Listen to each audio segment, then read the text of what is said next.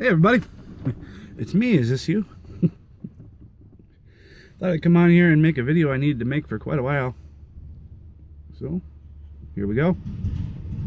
This video comes to you and is brought to you by the number two.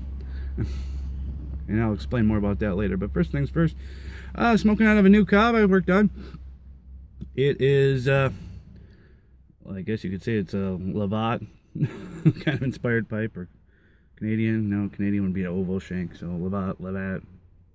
You get the gist of it. I think that's. I've heard it go both ways, so I think that's why by default everybody says Canadian has a long shank. But if I remember right, Canadian has an oval shank. Lovat has a round shank. Hmm. Yeah. Then there's a lumberman, and but those have different stems. Something like that. Anyway, um, why is it? Oh, and actually, I'm trying something different on this one. This one on um, the shank, I didn't put any kind of wood finish on it. Just, just kind of uh, sanded it really smooth. And I'm kind of wondering if uh, the oils will start to seep through the grain, or my hand, oils from my hand will actually start to color the shank. So we'll see what happens. And it's going to go out because I'm going to talk too much. But anyways, like I said, this video is brought to you by number two. Why?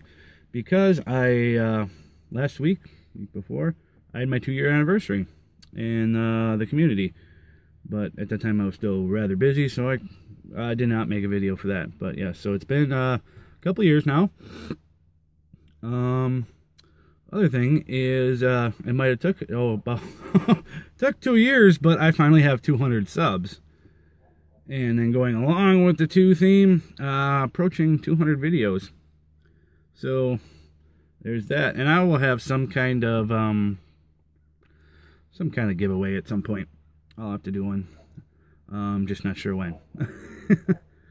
um, speaking of giveaways, I missed so many VRs and stuff this summer, and I apologize. It was like Gawpalooza for a while there, and, um, man, I just, I was busy. Like I said in my last video, I was busy. And I apologize to all those people that ran those. I just didn't get to it, and there's some I really should have. So, sorry about that. Um, other than that, moving forward, I, I will start to slow down as winter's here, or winter's coming. um, I will start to slow down a little bit more, so I'll have a little bit more time to do videos. Um, uh, part of the reason that even some of this other stuff with making videos is, I mean, I still have to do a Cob Foolery update, which I was too busy even to do that after a certain point. So look for that at some point. Um, the Cob Foolery homegrown thing. Um, yeah, so that'll happen. Um, like I said, I'll slow down and start making more videos. But even then, I really kind of run out of stuff to do videos about. So we'll see. um, and there might be some channel kind of changes down the road, kind of playing with some stuff in my head right now. So there might be some changes coming to the channel. It'll still be pipe related. Don't worry about that. It's just some things I might change. Um, um, and some other stuff that might be coming down the pike as far as that goes. So I'll have to get a, a giveaway video together at some point. Uh, what I'll give away, I have no idea. Um, I'm surprised you guys aren't like got out. yeah, so yeah, two years.